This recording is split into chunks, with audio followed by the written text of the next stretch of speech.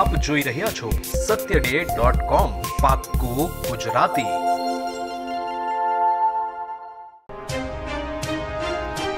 મહત્વપૂર્ણ છે કે વાપી નગરપાલિકાની યોજાયેલી ચૂંટણીમાં પાલિકાની કુલ ચારસો બેઠકોમાંથી સાડત્રીસ બેઠકો પર વિજય મેળવી અને ભાજપ પ્રચંડ બહુમતી સાથે ફરી સત્તા પર મેળવી છે. જ્યારે કોંગ્રેસ માત્ર સાત બેઠકો પર જ સીમિત રહી હતી. જો કે આજે પાલિકાના નવા પ્રમુખ અને ઉપપ્રમુખ અને કારોબારીની વરણી માટે વાપી નગરપાલિકાના ચૂંટાયેલા સભ્યોની પ્રથમ સામાન્ય સભા મળી હતી.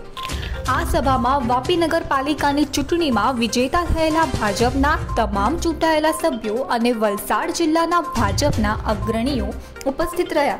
આ સભામાં ભાજપના મોવડી મંડળ દ્વારા અપાયેલા મેડન્ટ પ્રમાણે પાલિકાના પ્રમુખ, ઉપપ્રમુખ અને કારોબારી ચેરમેનને બિનહરીફ ચૂંટાયા હતા.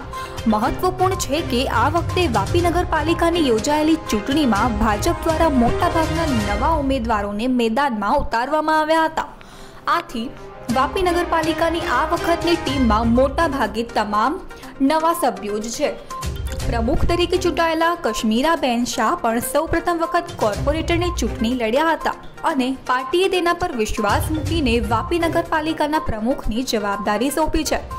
આથી આ નવી ટીમ વાપી નગરપાલિકા વિસ્તારમાં ચાલી રહેલા કામોને વધુ તેજ ગતિથી આગળ વધારવાની સાથે નગરના વિકાસ માટે હંમેશા જ પ્રયત્નશીલ રહેશે તેની સાથે જ લોકોની જરૂરિયાતો અંગે અભ્યાસ કરી અને વિકાસના નવા કામોનું પ્લાનિંગ કરશે. તેવી ખાતરી આપી હતી. કે with great authority comes great responsibility તો આ ભારતીય જનતા પાર્ટી અને એના હોદ્દેદારોએ અને જે પણ મારા ઉપર વિશ્વાસ મૂકીને મને આ હોદ્દો આપ્યો છે એનું પૂર્ણ સન્માન કરીશ અને મારું હંડ્રેડ પર્સન્ટ ડેડિકેશનથી હું કામ કરવાની હજુ હમણાં હું અહીંયા વર્ણ વર્ણી કરીને આવી છું એટલે અભ્યાસ કરીશ લોકો સાથે સંવાદ કરીશ અને જે પણ હોય એને સ્ટડી કરી અને પછી હું આગળ કામ ભારતીય જનતા પાર્ટીના કોઈ પણ ઉમેદવાર નવા નથી.